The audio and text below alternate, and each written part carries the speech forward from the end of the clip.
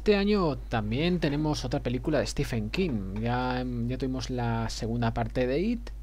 Ya tenemos la secuela de un libro muy popular de Stephen King, que era El Resplandor, que esta vez es su secuela que publicó en 2013 el libro, que fue Doctor Sueño. Y eh, la película, pues, se basa en el libro. Yo no he leído el libro de Doctor Sueño, ¿vale? Ya hace tiempo que Stephen King le tengo un poco calado y ya no me llama tanto. mi juicio está intentando como hacerse como una especie de universo cinemático, él solo con sus libros, intentando unir, unirlos y sus nexos, es un poco raro, ¿vale? Pero bueno, hay algunas cosas que están bastante bien de este hombre y otras que no están muy regular, que están regulares. Por ejemplo, la Torre Oscura sigue siendo bastante buena. Y pero luego ya últimos libros, pues no tanto a mi juicio.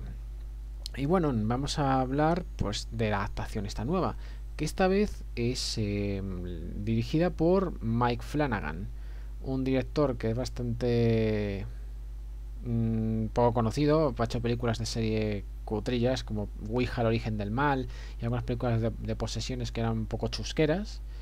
Y bueno, tenemos aquí eh, la secuela. Quien no sepa de qué va Doctor Sueño, pues como he dicho antes, es la secuela directa del libro de El Resplandor, ¿vale? Del... Y esta película, eh, la duda era, ¿va a seguir la línea del Resplandor de la película de Kubrick o la del libro? Porque ya sabemos que uno de los grandes spoilers, problemas que tenía El Resplandor fue que no le gustó a Stephen King fue lo de la muerte de un personaje que para él le parecía muy importante.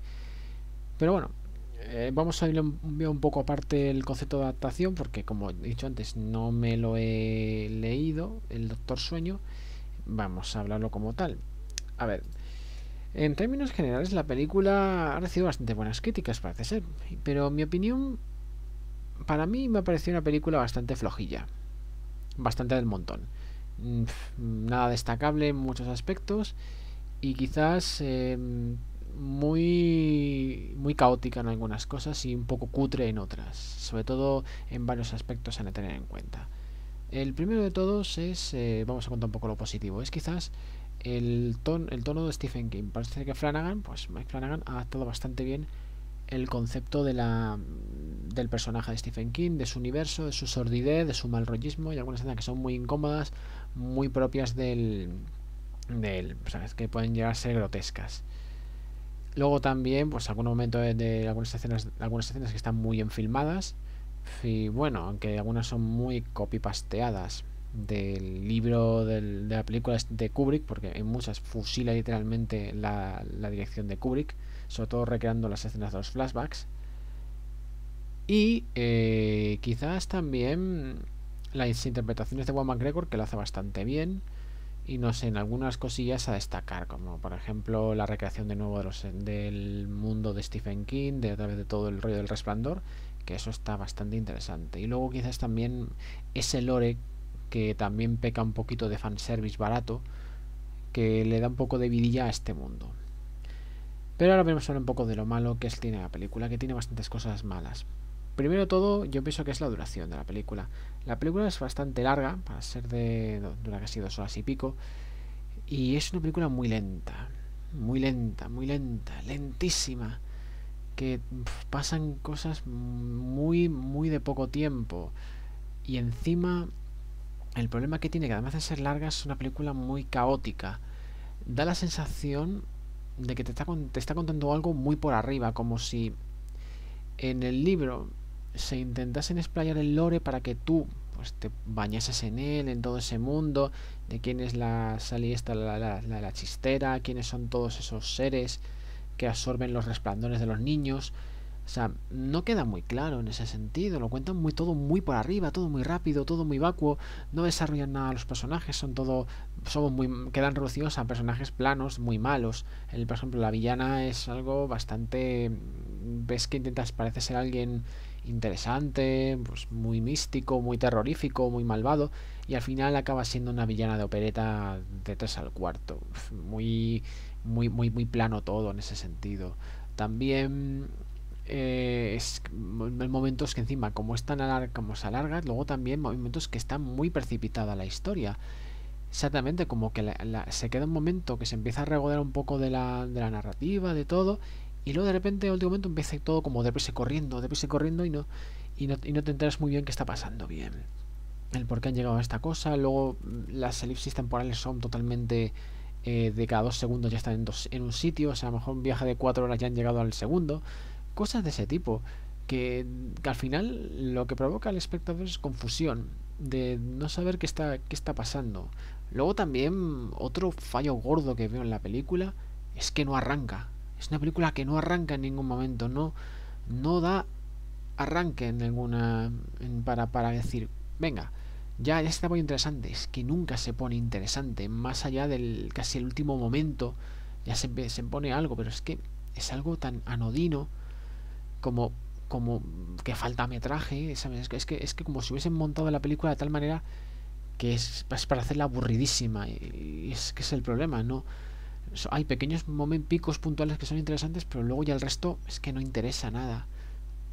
El personaje de McGregor, de, de Danny, es muy muy perdido. O sea, es un personaje que no tiene casi nada de, interés. Más allá de luego está Ada, que tanto, que, que, tampoco se desarrolla tan bien. O sea, es que el desarrollo de los personajes es tan deprisa y corriendo y tan, tan cutre que no da sensación de que se lleven bien, de que se conozcan, de nada es algo bastante flojo en ese sentido.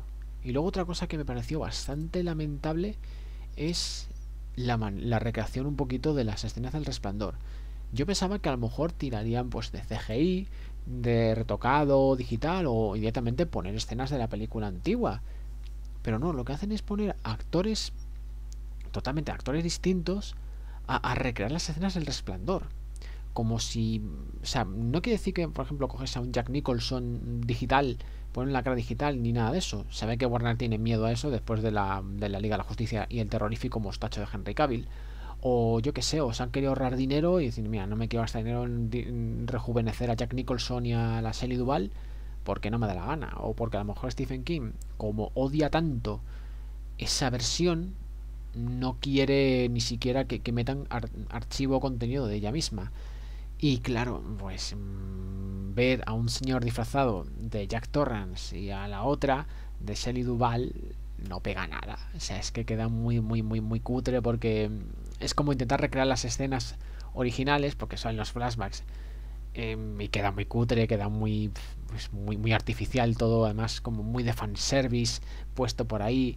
Yo no digo también que muchos actores no, los van, no van a poder hacer el papel, pero joder, ni siquiera un mínimo retocado digital para que al menos se parezca. Joder, mira por ejemplo en Terminator 5, que algún día en la review de la mala que es la película, al menos el rejuvenecimiento de Sarah Connor y el de Schwarzenegger pues está bastante bien, pero para esta eh, es que ni siquiera es que han cogido dos actores cutres, les han puesto unos disfraces super cutrillos y no pega nada. O sea, es que yo hubiese preferido que hubiesen hecho algo digital. Una, una digitalada de Jack Torrance, aunque sea una de Jack Nicholson y de la, y de la serie Duval, para que al menos, joder, no te diese ese repeluco. Pues que, es que queda súper repeluco. Luego también, viendo eso, también es que el CGI, quizás por ahí entendería el por qué no lo han hecho, porque es que el CGI en esta película es bastante chusco, muy chusco. Es algo que bastante Mm, bastante flojillo en ese aspecto. Y bueno, pues en conclusión, porque tampoco creo que pueda contar más, salvo que la película tenga algún pico puntual, algún momento sórdido muy de Stephen King que puede gustar, pero en general es una película bastante olvidable, bastante floja y una película que yo creo que es que ni siquiera merece la pena pagar dinero por ella. O sea, sea, para los fans de Stephen King puede que os guste, pero en general es una película que me parece muy descafeinada, muy mediocre y muy olvidable. Y bueno, la valoración final que le da a Doctor Sueño es de un 5 sobre 10.